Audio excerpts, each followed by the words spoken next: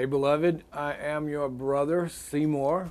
I pastor Messiah's Church in Summerville, South Carolina, and I head up Mantle Church Ministries for all of those pastors out there who are looking for the true place to belong, glean, and become brothers in arms in the Remnant Army Bride. This is my beloved from the Lord, my gift that has caused me to be sanctified and consecrated to the will of the Lord. Jurena, say Hi, hello, everyone. babe. Hi, everyone. We look forward to just speaking to you about the things that the Lord has done through us and in us. It's been an awesome eh, journey. It's just been just quite awesome. So to let my husband continue.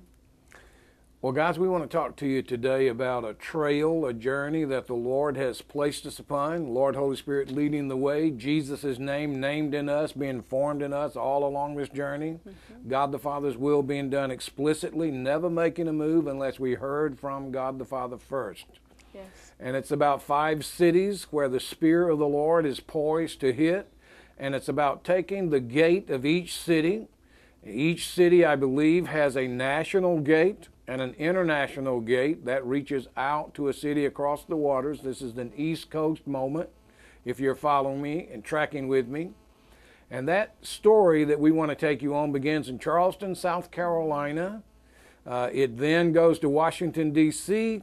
It then goes to Boston, Massachusetts, comes back down to New York City, New York, and then Philadelphia, Pennsylvania. Those five cities are part of an outreach that is planned by heaven that the earth probably doesn't know too much about. But we have been on that journey, Yes. and we want to tell you a little bit about it. Yes. This, the story begins in Charleston, South Carolina, where my wife and I were praying for our city, seeking the face of the Lord, lying before Him. Yes. When God the Father spoke and said, I want you to take a question to your mayor. We did. We set up a meeting with the mayor, and the question was this. We went respectfully and honorably. You cannot get anywhere with any civil government unless you do so. You cannot represent prophetically the office of the Lord unless you have honor. But the question was from God the Father. And so we also carried a prophetic question from heaven for our mayor. And that question was this When I move, God the Father speaking to him, Yes. Will you regard my move as a blessing or a nuisance to your plans for this city? When I move in this city, will you regard your plans for this city as a blessing or will you regard my move as a blessing or a nuisance? Again, we edit this part, brother. When I move in this city, will you regard my move as a blessing or a nuisance to your plans for this city? The mayor paused, asked me questions. I answered them. I shared with him he did not owe me an answer. It was not my question. Yep.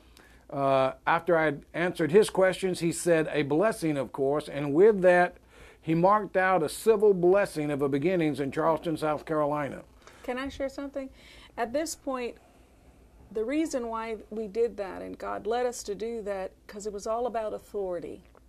God works through authority, and God was about to lead us to take authority in our city and to walk through some things that He was wanting us to do, and how God led us as He had us go to civil authorities, and, and, and you'll hear Seymour talk about all the different authorities that we went to, and it was because that's how God works. And when we did that, we saw the most amazing things happen. God did the, the most, I just, the only thing I can say is He did the most amazing things that we have seen Him do over our city. And so I'm going to let my husband continue. I just wanted to iterate Well, we were that. lying before the Lord again, seeking his face, Yeah. and God the Father spoke this. He said, The doors are open, go through the gate. Now, at that moment, we've got to fall back a little bit because for 120 Fridays, the Lord led us to worship to the audience of one at a place we call Anson Street. Incidentally, the peoples in their early 1800s called it that too, Anson Street. We did not know that for years. Yeah. And there we worshiped to the audience of one where the glory of the Lord, the power of the Lord, the authority of the Lord would come down. But we began on a note that you need to hear about. I'm going to let my wife tell you that moment. Well, it all started when we were in prayer. We were going through a really rough time. And you know, when you're going through a really rough time, you're in that place of transition. And we were on our faces before the Lord. We were seeking God with all our heart. We'd gone through a church split. We had uh, taught years about forgiveness. And God was telling us everyone to, needs one of those yeah, yeah. once in your lifetime. Yeah. And so, and God was talking to us about really pressing into that because we had always been teaching about a move of God, that God wanted to visit us, and we had to go through this valley of the shadow of death so that God could catapult us to this new place. So we went to church, to a meeting that we were at, and one of the ladies there said, You know, you and Jurena carry an apostle and prophet's. By the word. way, yeah. when you go through your valley Yeah. of the shadow of death, the table of his presence is awaiting you with your Yeah. anointing upon That's it, and right. you're never going to have that anointing until you go through that valley right. of the shadow of death. because the Lord says that He anoints me in the presence of my enemies. And so the anointing comes, and there's even so much teaching on that. Who is the enemy? But Death anyway, is just one of the enemies that's going to be looking on. All your enemies are going to watch God the Father grant you an anointing which you're seeking for now. Right. And so in this place of brokenness and just pressing into God with everything that was, was in us and everything that God had taught us, we went to a meeting and it was an intercessory prayer meeting and you have heard about if you haven't heard about the anson street revival you can just google it uh, the anson street revival is a great revival that happened just before the civil war god set this whole thing up 1858. Yes. God set this whole thing up just so that He could move powerfully. God is still doing that today for all those who have eyes to see. And so we want to adjust your eyes so that you can see what happened. And so um, we went to the meeting the first time, the prayer meeting. People were meeting at Anson Street trying to rekindle a fire that had started. And so we went there the first time. It was wonderful. The saints of God were just wonderful. They, you know, they were there. And so we went the following week. And when we went the following week, uh, we were outside talking to some intercessors. And the Lord spoke to me and He said, Go in and sit down. And so I went in and I sat down and, um, yes. For those of you who desire to taste and move and be in the glory of the Lord, I want to share with you that I was outside on the sidewalk with a couple of intercessors, and God the Father started pouring His glory on them as we fellowship. But there was something more important. Yeah. Catch that, Remnant Army Bride. There was something more important Yeah. than just tasting and basking in the glory of the Lord, His character nature pouring on us. Yeah. And that was happening inside with my wife. Right. And so the Lord spoke to me. He said, Go in and sit down. So I sat down and just began to pray and just, you know, saying, Father, you know, what do you want? Uh, what's your heart here? Again, you know, we were coming out of a place of brokenness into wholeness and seeking God for what was the next thing that He wanted us to do. So I went in and I sat down, and after a while, the Lord said, Now I want you to go and I want you to kneel at the altar. And I went and I knelt at the altar just as casual as you please. And to my amazement, an angel of the Lord came forward and he was dressed in white and he had a burgundy banner across his chest. He didn't have ang- he didn't have wings, um, but it so it was an angel with Frank. So I know a lot of you are saying, "Oh, angels," you know, but in uh, First Colossians talks about how the Lord has set uh, the heavenlies order in place. And also, the Lord is the Lord of hosts. We, th- we think about that. Jesus always said, He's the Lord of hosts. Well, who is that host? That hosts are ministering spirits that are here to help us. And So that day was a ministering angel, but you Yeah. need a pot to pour in. that's right. They don't, you know, they won't talk to you unless you have some type of container to be able to be filled with. And so, what was our container? Our container was brokenness. Our container was seeking God. Our container was believing God. Our container was believing God for our city. So on that day, we were we went there out of obedience because God said to go. So I went down and and this this angel came up and he was dressed in a pure white, gleaming garment, and he had a burgundy banner on and he was carrying this bowl and the bowl was filled with incense, and the incense were blue and white and it was so whisper thin. I don't know if you ever saw um, uh, glass that's just like if you were to breathe on it, it would break. And it had a lid on it, and he was carrying it. And I'm going to read what he said, because for me, when I you know, tell about the things of God is so important to get it exact word out. I'm not the reader digest when it comes to that. I like it to be very exact what the Lord said. And so I'm going to read to you my notes that I wrote. Um, I entered the intercessory prayer meeting, and the Lord asked me to go to the altar and kneel. And suddenly the angel of the Lord appeared in glowing, brilliant white attire with a burgundy red sash from left shoulder to right hip. He said, I am the revival angel of Charleston. Take the keys and open the door. He offered me the key, and I took the keys, reaching out physically with my hands. The floodgates will open to you. Be bold as a lion. I am with you.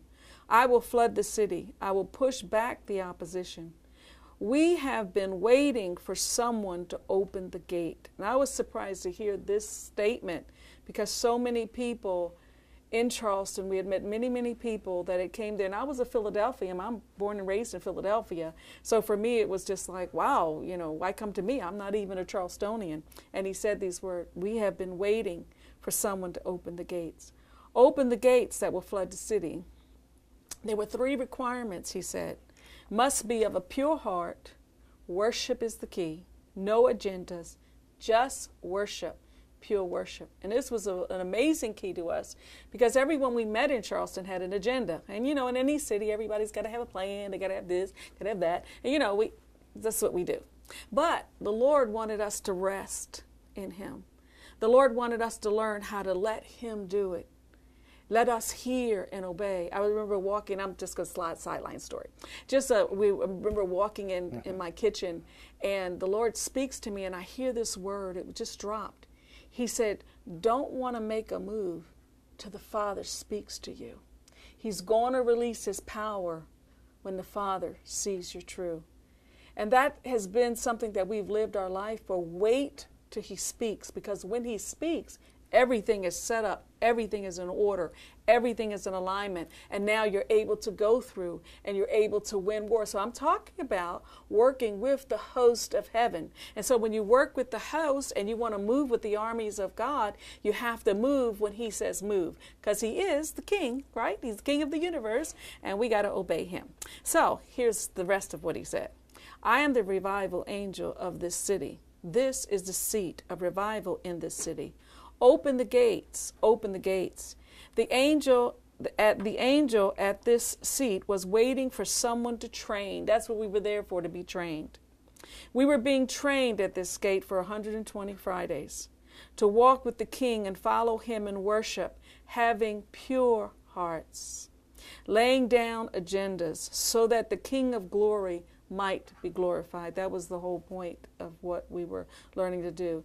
And then I cried out to the Lord in the midst of talking to Him was like, Lord, you know, we have seen so many people trying trying to do things in this, this city, and they they get they wind up in divorce, they wind up sick, their lives just fall all Ministry apart. Ministry shipwrecked. Ministry ship. You know, you're trying to do something for God and have good hearts, and you want to do something for the Lord, and you know, all all of us want to do that. But it seems as though the enemy literally pummels us and so it was, he said to me when I said that, he said, You are hidden, don't fear. Don't fear man or his heart. And this was really important for me because every time I told someone that I met a revival angel, the Lord gave me the ability to look into their hearts. And what I would see was so much doubt and unbelief. People just did not believe God. People didn't believe that that could happen. But yet people quickly believed that I, you know, spoke and said, well, you know, we don't wrestle against flesh and blood. We wrestle against principalities, powers, and spiritual wickedness in high places. Because, oh, yeah, man, that's what we wrestle against. But then when we talk about, hey, you know, God's got an antidote for this, no one believes that because the enemy's work is so glorified. But God has a greater work for his people to do. He just we just need to be obedient, Lord God. be pure hearts, hear his heart, and he'll work with us. So anyway, he said, um, he said, Don't fear man or his heart. I will flood the city. Many will gain hope for a new future. Some destruction will take place, but I will rebuild what is ruined.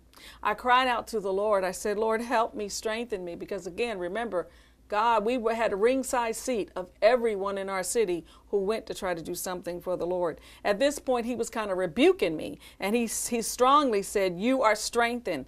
This is the hour and time. Don't fear. Go forth. The time is at hand.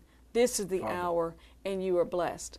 So I want to explain to you the key was not like a key that we would think like a door key. The key was this glass bowl that I saw. The the, The key bowl was the key. The bowl was the key, and the bowl was worship. You know, sometimes when people worship, you know, we, we all love songs and different things, but I learned from the training ground that the, the Lord was giving us at this time was that everything had a sound, and it's the sound of heaven. Remember, Adam would hear the sound of the Lord walking through the cool of the evening. And what has happened is we've lost that sound. We're so filled with the world sound and, the, and we, we follow a tune that is not God. And what we were learning during this time was the sound of the Lord. And only the sound of the Lord comes out of a pure heart. It doesn't come out of corruption or mixture. And when we mix things, that's not the sound of the Lord, it's the sound of mixture. And so during this time, we learned the sound of the Lord. We learned how to hear the Lord. And that was really important because God was, we were gaining authority. And so for 120 Fridays, we worshiped before the Lord. And the most amazing things would happen. We would hear from the Lord on Friday something that was going to take place. And Monday or Tuesday of the following week, those things would come to pass. And so we were seeing the revealment of what the Lord was, was doing, and it was training ground. And the whole purpose for us going there, He was very specific about us dressing being dressed in revival clothes, being dressed in holiness, a preparedness for His glory. So we had to be prepared ourselves and learn how to do this. And we were amazed at how few people wanted to be prepared because you had to die to self and live to the Lord and, and raise up in Him so that you could have the sound of the Lord in your voice. Because, you know, all the earth is, is yearning and earnest expectations for the mature sons of God to be revealed. And God is raising up now, I believe He's raising up right now, sons of God to be able to speak over cities and take ground. So I'm going to let my husband go from here. I just want to throw one thing in.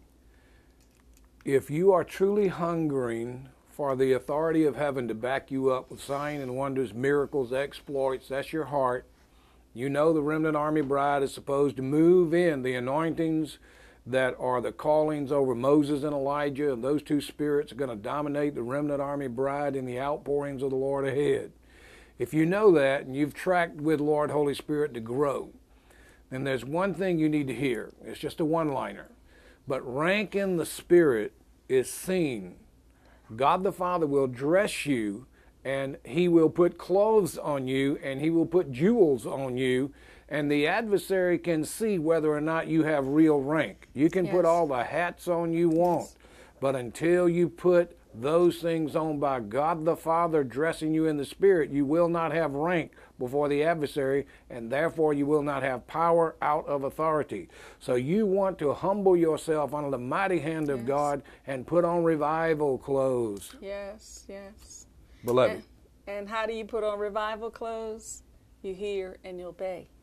Because you see, where God's going to lead you, He's going to lead you into righteousness.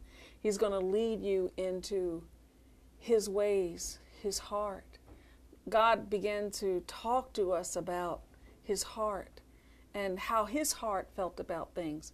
I had an experience about uh, maybe two or three weeks ago, and it was um, I was in praise and worship, and I started to sing. And when I sing, I see things in, in the spirit because God causes me to see. And so what I saw was I saw almost as it were like confetti because it was like ribbons and streamers coming down. And I was in a in a crowd and I was worshiping the Lord. And all of a sudden, um, Jesus saw me and he stood up. And when he stood up, I understood the secret. Seymour ministered once, and it's where Stephen was stoned. And Stephen looked up in the heavens and he said, I see Jesus standing.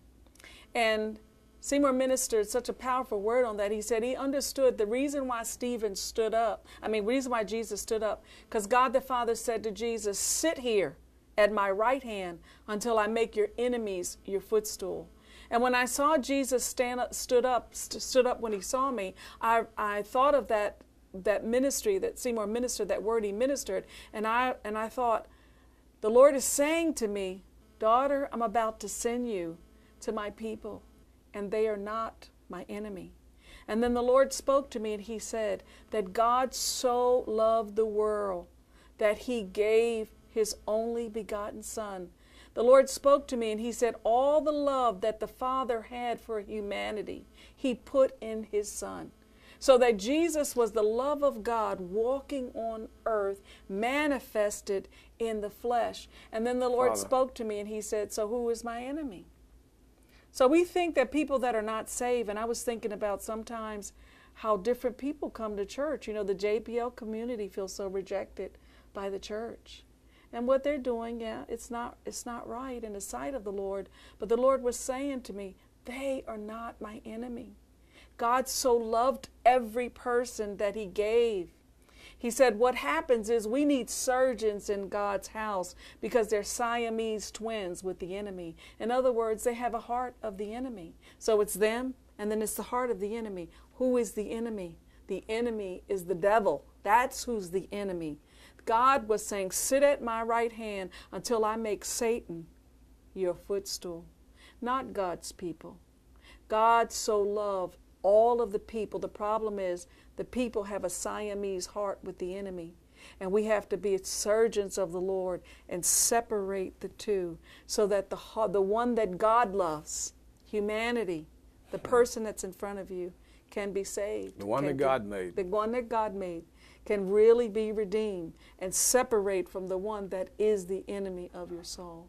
So God is, you know, He's doing some mighty things and He loves us all. And see, we're not been just learning those type of things, but we want to continue about the gates that God led us So to. that's the backdrop that we had inside of us to understand how to obey the Lord when He said, The doors are open, go through the gate. Now, the revival angel said, Flood the city, go through the gates, and flood the city. So we understood there was a process that was ahead, but we did not know how God was going to do it other than we follow the Lord. That song is what you heard. Uh, don't want to make a move till the Father speaks to you. We've got to be able to wait on Him. Got to. And so we were waiting on the Lord, and God the Father speaks. The doors are open, go through the gate. I went back to the mayor. He blessed us, sent us to the cultural director of the city. If you want to film in our city, if you want to come to one of our, uh, you want to come to Spoleto, which is a Charleston speciality, uh, you have to go see the cultural director if you want anything special, if you want admission to various things. So she blessed us. The presence of the Lord came down in her office. Uh, she sent us over to the state director of state properties. He had prayer in his office and blessed us and sent us to Congress. We were already the congressmen's uh, prayer partners. The Lord would show us in the Spirit what was going to happen and it would take place. So He blessed us and sent us to the state lawyer for South Carolina. And the state lawyer for South Carolina at that time said, in essence, Seymour, no one's going to put their John Henry on a piece of paper that says you can go have this meeting, but trust me, go have this meeting because we discovered where the gate was. It seems that there was a spot of ground that was the original land entry into Charleston, and that spot of ground was now a brick courtyard walkway. So we took all this information back to the Lord. Don't want to make a move till the Father speaks to you. Yes. Gonna release His power when the ah, Father sees sees your truth. Then it'll be Him. Then it'll, be begin. Him. Then it'll be Him. Then it'll begin. The outpouring will never begin on our strength. It will not begin on our efforts. Yes. It will only begin as we hear the sure word from the throne and go and do it, putting in pieces of the puzzle that God the Father wishes, and then it will be Him, and then it will begin. So here we are. We know where the gate is. We laid before the Lord three days, and He spoke, Go in eight days. On that day, we assembled. We sent a simple word out. About 40 to 50 intercessors. We never counted because numbers don't matter about this. Heart does. and we uh, we had a very windy day. There were contrary winds. One was from the adversary, the other was from the Lord, blowing the adversary's winds away. The forecast that day was for heavy, heavy, heavy thunderstorm and rain all day long. It never rained that day because God said go that day. When we went, we put Jurena in the middle, and she sang the song of the Lord to the audience of one. Please get that. Yes. She sang the song of the Lord to the audience of one. The rest of us joined in. And when we were done, and that was by the Lord Holy Spirit's lifting, signaling that that was the case, something transpired that we never accounted for. When we left, God the Father stayed. Yeah. To this day, you can go to the spot of ground in Charleston, South Carolina. If you have sensitivity in the spirit, you can bow. You do not have to worship. You do not have to pray. There's no effort on your part. You simply bow, and the glory of the Lord will pour on you in the midst of the crowd that has no clue what's going on. Mm-hmm. If you are not sensitive, you'll be like the crowd that has no clue. And God the Father is poised to pour in Charleston, South Carolina from that very gate one of these days. Now, I got to tell you, while Jurena was in worship, the Lord put me in an open vision, showed me a next assignment in my own city. I went into depression for three days and got out of my pity party three days later and decided to obey the Lord. I researched that spot of ground and it opened up all the understanding that next. Yeah. In the midst of all of this, God the Father put five spears in position in my wife's hands. Yeah. I wanted to tell you that story. Yeah. And so we were praying with some pastors, and um, they were at our house, and we were praying. And the Lord took me outside of the earth, and I saw the whole world, the whole earth. And then I saw the East Coast, and Seymour and I were standing in the state of South Carolina.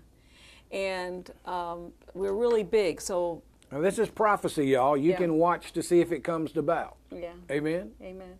And so we were standing. Uh, I was. We were standing in the. Um, I was standing in the state of South Carolina, uh, along with Seymour, and all of a sudden I heard a spe- uh, this sound like shh, and it was a, a spear, and it had gold uh, jewels all around the top, and then suddenly four more spears fell, and I didn't know where they fell, but I knew that they went up the East Coast.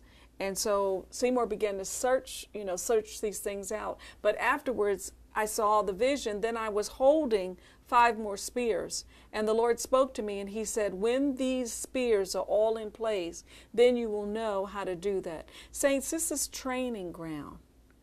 We had to be trained about the things that are of God. And guys, we were the dumbest of the dumb, yeah, and that's actually a good place to be. Yeah, yeah. The strong will never figure this out. Yeah. I have this statement. I don't know how we're going to get there. That's how I know we're going to make it. Right. The moment I think I've got it, I no longer have it. Right. This is about leaning on the Lord Almighty. He's got it, mm-hmm. and we just get to hang with Him. Yeah, we were walking out the Beatitudes where Jesus said, Blessed are the poor in spirit, for theirs is the kingdom of heaven. To be poor, you can't be a know it all. You have to humble yourself in the sight of the Lord. Um, a brother of ours that came and visited us, his father's a mighty minister in Mexico, and they move in great power and authority. And he said he was telling us about a vision that this man had that was also a prophet. And he said he took him to a desert place, and he and it was Jesus and him in this vision and he said Jesus reached down and he picked up a sand in his hand, and it was a small palm a palm full of sand that Jesus picked up, and he showed him this sand. And Jesus said to him, He said, From the time that man began, that was Adam and Eve, to now, this is how much my people or the earth knows about me. Father. That is so little. When I thought about that, I was like, oh my God. We hardly know anything. So, in order to learn something from God, we've got to humble ourselves before God. He's God and we're not, and we're not going to figure him out. He's the king of the universe. Oh my God, he's looking for someone to be poor in spirit so that he can pour his kingdom out and into. And so that's what Seymour and I have endeavored to do is that, Father, every new situation, we have to ask God, Father, how do you want to do this? I'm I want to work with you, Lord. And I can't go by the what happened in the old, you know, the old what he did the last moment to know that he's going to do the same thing this moment. So it's like this moment by moment by moment the Lord has been training us to do so that we might learn his ways. Because what was it said? That the people knew his act, but Moses knew his ways. And so we're learning the ways of God and how God moves and how he wants to take a city, how he wants to move among his people, which is quite different. There is no generic kind of thing that happens, you know, that we have learned, uh, the way that God has been training and teaching us. So the Lord showed us in seeking him what the next spear was, we knew it was up the coast, therefore, Father, where's it at? And it turns out it was Washington, D.C. We went to Washington uh, to hunt up the gatekeepers of that city and give them the understanding that we had from the Lord. After all, we're not Washingtonians. Yeah. We do not know the gates of this city other than what the Lord had showed us. One gate, one spot of ground. And we went to that spot of ground at the invitation of the Lord after we had gained authority. We did not know that we were going to gain authority. Yeah. And how we gained authority was because we came to the gatekeepers who did not quite perceive what we were presenting for them because it was their city we wanted them to take their gate. Only it turns out that God the Father had another thing in mind. We got invited by true gatekeepers of that city to go to a meeting where a prophet out of Israel was meeting. And at that prophets gathering, a next event happened. I'll let my wife tell you about that. Well, we again we went into the meeting. I sat down, and suddenly, again, I saw an angel. But this angel uh, wore beautiful white as well. And he had a blue banner across his chest. Now, this time it was like, okay, the revival angel of Charleston was like, okay, I got a little bit comfortable with this. You know, y'all, you know, it's amazing how much unbelief we have in our spirit. And I definitely had a religious spirit. I've been this since I was 12 years old. So, you know, for me, it's like I know all the scriptures. I know what everyone's going to say. And so I'm arguing with this, this one. I'm thinking, I am not really seeing this. This is not really happening to me. but all of a sudden, this particular angel gave me, he spoke to me and he gave me a spear he gave me a crown and he gave me a big key. And he said, Keep seeking the rings and keep strengthening the rings that he has here in the city. And so when I met this this when this particular thing happened to me, I'm like, okay, God, I really do need to have um, someone bear witness. Let's have a, a second or third witness because you know I I don't want to be imagining these things. So the moment I said, Lord, I need to have a witness, all of a sudden the minister that was speaking was a very famous man, and he has a, a big ministry in Israel. And all of a sudden he stopped whatever he was ministering and he started ministering about being crowned. And he said that the church has walked in a priestly anointing, but God is moving them to a kingly anointing. And the kingly anointing was the ability to speak the word of God. You know, everybody's saying go and proclaim, proclaim the, the word of the Lord, but that's the kingly anointing.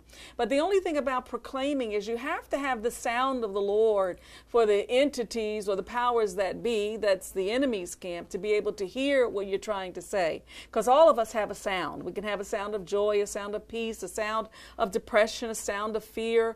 All of us hear each other's sound. So, in order to speak on the level that this angel was, what he was giving me, and what this minister said, was that you had to have this kingly anointing. And so, okay, I said, okay, that's pretty cool you know, that he started saying that, and I received a crown, so that gave me understanding of what just happened. Uh, then we went out to breakfast the next morning, and God had told us to meet with a pastor and his wife. And the Lord spoke to me and He said, Tell them what just happened, you know, the night before. And so I told them what I had. And she said, The lady was sitting there, she said, Wow, that's really interesting. She said, It's been a long standing prophecy in D.C. that someone with the key from D.C., from no, someone with the key from Charleston would come to D.C. and bring revival. Open up the gate. and open up the gates. And so I thought, whoa, that's another confirmation. So the minister that, that spoke that night happened to be at the restaurant that we were at. That wasn't planned. We just happened to be at the same place. The Lord planned it, but we did not.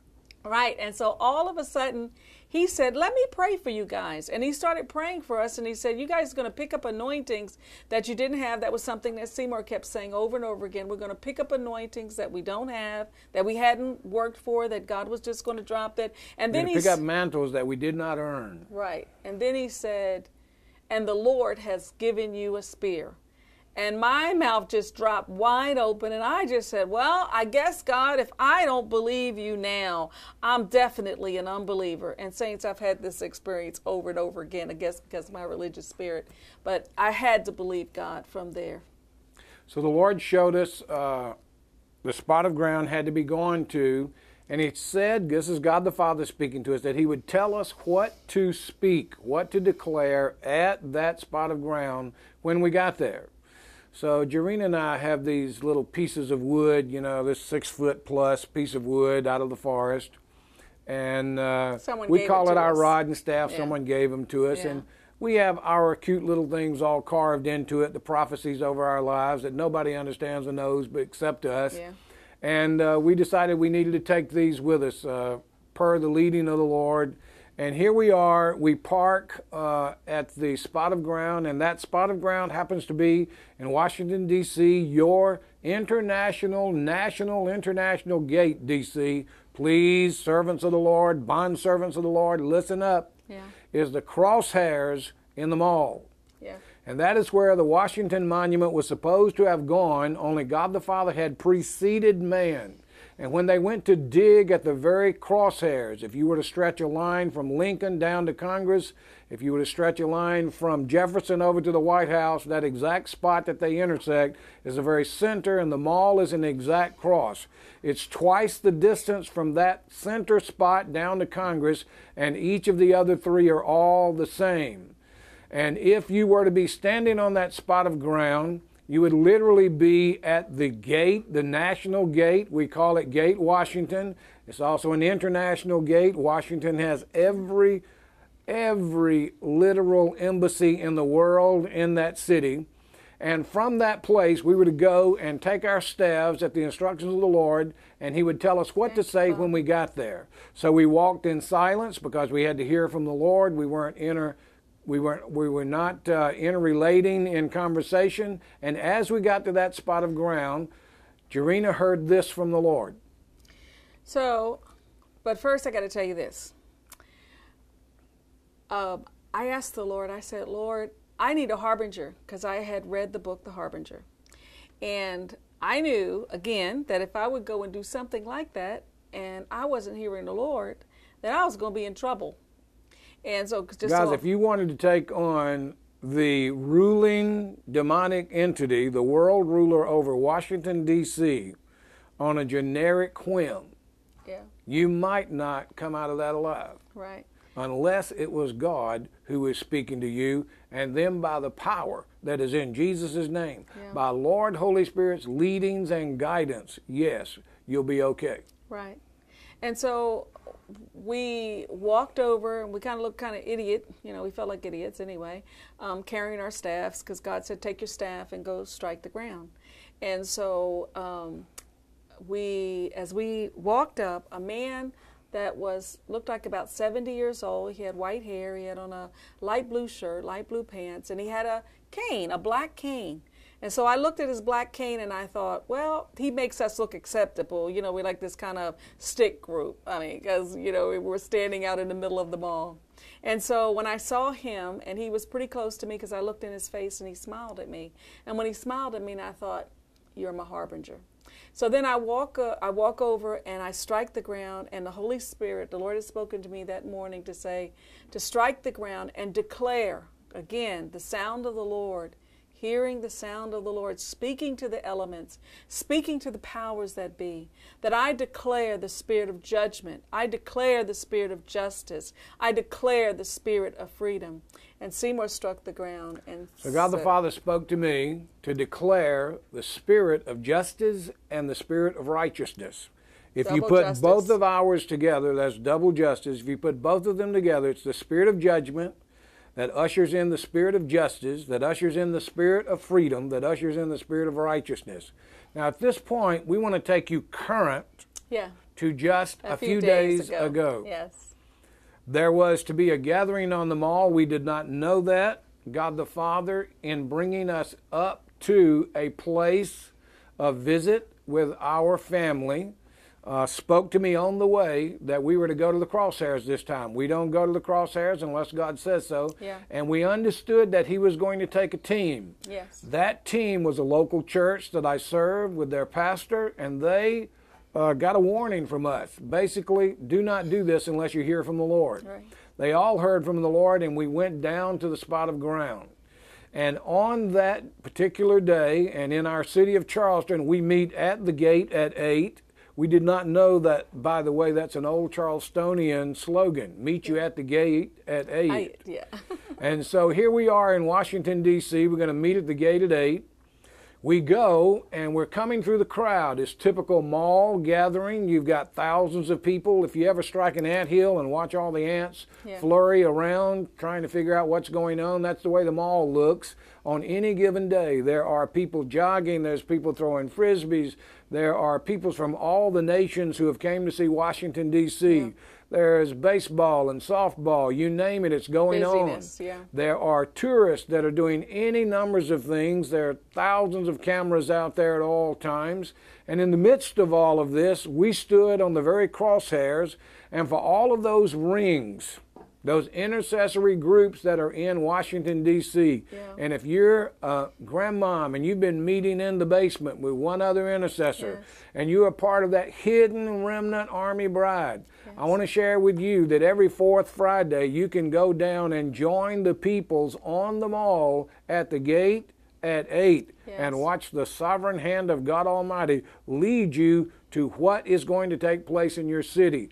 So here we are, we're standing on that moment of time, and God the Father does a marvelous thing. I'm going to let my wife begin to tell you what happened. So we join hands and we're taking pictures because we want to remember this moment because you know we know that God has called us to do it. And so what we do is we join hands and I begin to pray and I know that I'm supposed to pray only what the revival angel said to pray. So I pray, Lord, let the spirit of judgment fall and let it fall from the White House to the lowest house. Lord, let the spirit of justice fall and let it fall in the White House to the lowest house. And Lord, let the spirit of freedom fall and let it fall from the from the White House to the lowest house. And Lord, let the spirit of righteousness fall from the White House to the lowest house. And I looked up into heaven and I said, Father, we agree with heaven. We agree with the throne of God. And Jesus prayed it. He said, As it is in heaven, let it be on earth. God is looking for someone to stand at, on the earth as it is in heaven. Father, what's your will in heaven? We want to do that will on earth. We want for heaven and earth to agree. And so that's what I prayed. And I said, Lord, bring a plumb line that everything lines up with your will from the heavenly throne. And Father, let your heart be Father, made manifested over this country and over our city. And at that moment, I saw a beam of light. It was like a, a beam of light, and others saw different things in the spirit, and it fell. And a lady next to me, and Seymour said, Did you notice the atmosphere changed? Now, guys, we got to got to just linger for a moment so you can really catch this. Supernatural Natural peace, sovereign, tangible peace fell. Just like Fell. glory would fall, peace fell. Peace fell. Peace fell on them all. All of a sudden, all the ants of the nations that were visiting Washington, D.C. stopped in their tracks. Joggers quit jogging, baseball quit Yes. playing, softball quit playing. Yes. Everyone quit going to their next place Yeah. to snap the next picture. They could sense the change, did not understand it. Yeah. People begun to sit down on the mall so that they could meditate on what just took place. Yeah. And the temperature was a soaring 90s plus, Yes. very hot, very humid, very sweaty, if you want to get descriptive. And suddenly that temperature dropped almost Cool 10 degrees, maybe more. We don't Yes. know. All I know is it went cool. Yes. Did you know that the glory cloud used to cool Israel Yes. in the desert? yes. And that supernatural peace was tangible so much that every single person in the prayer gathering sensed the peace, sovereign supernatural peace of the Lord as it dropped over them all. Yes. Now I want to take you on a quick journey. I want to share with that this one point. Okay, go ahead. The Washington wrestling match you have is with the spirit of confusion. Yes. And that spirit operates three ways. Number one, you cannot make a decision. If you're from Washington, pick out a friend as I tell you this story and see if it fits. Yeah. The second is that if you do try to make a decision, you try to please both ends against the middle, and that never works. And finally, if you utterly know that you must make a decision and make one, and you get out on point in that decision, a fire erupts at the rear, and you go to put the fire out and never get back to point. This is your wrestling match for Washington, D.C. Right. And to this wrestling match, God the Father dropped peace, sovereign, Yes. awesome, Yes. manifested peace of God Almighty Yes. onto that mall. Yes. It oh, was. Oh my. Yeah. You want to go to your gate in your city. Yes, at, at the sound of the Lord. Well, anyway, so what happened after I prayed and everyone was saying it was so peaceful? One of the ladies to my left said, She said, Man, you could almost hear a pin drop. And it really was just like that. It was Everything went quiet. quiet it and was, still. And still. It was amazing. And so the Lord speaks to me. He says, Get your camera ready and take a picture. So I stepped back because everyone's in a circle. So I figured I would take a second picture of everyone in the circle praying. As soon as I stepped back and got my camera ready, got it where it was supposed to be, all of a sudden, President Obama's plane came. His. His helicopter Three of came. them. Three of them. And his helicopter went right over the plumb line that I had just saw in the spirit. And and the fact that and then he landed right in front of the White House, so he was definitely in the helicopter. And I got pictures of him flying right toward us, right over top of us, flying right through the circle. And you know, it was just like amazing how God ordered all of that. Saints, God wants to judge our country, and judgment is so good. Because if we're judged on this side, we don't have to be judged on that side. If God straightens that us out level on of this judgment side, is restorative. it restorative. It restores. If we get true judgment, then we will have just justice. If we have true justice, then we'll have freedom. If we have true freedom, then our country can once again have righteousness. So later that night, um, and different people saw a lot of different things. And one guy said, he said, "Well, we will know that this is the Lord when people from other states just come up and join us." And so we bowed our heads again and we prayed several times. And so when we prayed the very last time, uh, we opened up our eyes, and two sisters from Mississippi joined us. And they had nothing to say, but they just came. We opened our eyes, and the circle had gotten big, bigger. They just came in and they joined could tell us. we were servants of the Lord. Yeah. They were servants of the Lord. We were praying. They wanted to join. And these are this the, is last yeah, Tuesday, Yeah. five days before, four days, whatever it is, before the Saturday Of Together. of the Together Yeah. group that was coming to put, I don't know, maybe estimates of 150,000, Yeah. headed towards 200,000 people on the mall. They were hoping for a million. Yeah. So anyway, that night, um, I talk was talking to the Lord, and I said, Lord, what is the revival's angel real name? And the Lord spoke to me, and He said, His name is Hope for Future. Hope for a future. And I thought about that, and I thought, oh my God, when we were fighting against the British, we needed a hope for a future. And we're at the place now in our country where there's so much upheaval. There's so much evil going on. We need a hope for our future, for our children, and for our grandchildren. That God needs to give us a hope. God needs to give us a future. God needs to give us peace. And I remember the Lord said that we were walking through the Beatitudes, and that's a teaching that I have on SoundCloud, and it's called Journey to the Mountain of God. I minister that. You can go on SoundCloud and type in Messiah's Church, and you can listen to, to that teaching. But it was about the peacemakers would be called the sons of God. That saints, all of us are saved. All of us are, are walking with the Lord. We need more peacemakers to be loosed on the land when the land is in turmoil. Where are the peacemakers? The peacemakers, they the sign of the peacemaker is that that they make peace. And the Lord said that these shall be called the sons of God. And so my prayer is, Lord, and the fact that the Lord dropped peace on them all. Saints, God is wanting His children to rise up and bring peace. He loves His children, He loves the earth, He loves the people. But remember, we're dealing with Siamese twins. You know, with Siamese twins, they they, they share organs. So people are sharing a heart with the enemy. And we need surgeons that are skilled to separate the one that God loves from the one that is the enemy of our souls. And so, saints, we need more peacemakers to rise up in the land that are called the sons of God. So we can go on from there, honey. So, guys, I want to just jump from Washington, D.C. to the next gate as the Lord revealed to us the next spear, and it was Boston, Massachusetts. And I'm going to pick up the speed a little bit. We begun to notice something around New York City, which is that God the Father was sending us sign and wonder Yes. every time. Yes. There was miraculous sign with a miraculous wonder as we conducted what God the Father told us to do. I want to jump back to Washington now for a moment with the harbinger. I saw an uh, uh, I saw a guy who was about 40 years old, black hair, dressed in black with a black cane, Yeah. jump up on a retainer wall that was about four feet high, that was wet with rain, that we were wise enough to walk around because we might slip on it because it's cut granite and not polished. Yeah. Therefore, your footing might slide, and if your knee went down in that, you might be injured a little bit. We walked around to get to the spot of ground that day, and the guy never got closer than 50 feet. He would be a male invading my space, and let me tell you, I'm going to check him out. I'm not going to let some man come within five feet.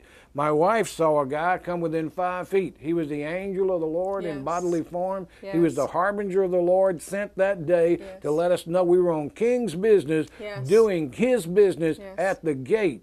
Yes. We've learned something about gates, guys. First of all, in a city there may exist a national, international gate, and it will be one. There will be other gates in that city, and they are city gates, but everything that we have seen thus far has been a place where hell Hell did business. put in a bid for this nation right. and did its business. And God the Father says, What in Scripture? I will give you the ability, the right to possess the, The gates, gates of your enemies. enemies. Yes. Oh my. Yes. You have to hear the Lord. yes.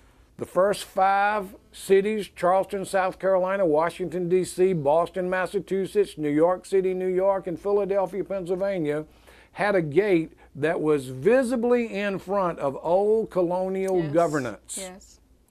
The old colonial governance of America had a viewpoint of the gate spot of ground that God the Father wanted us to go to. It was also a place where President Washington had visited. There is also the truth that it was a place where hell had done business at. Yes. You could get lost in that discussion because there are five, and then there are five more, and then there's the whole of the United States, and then there's a whole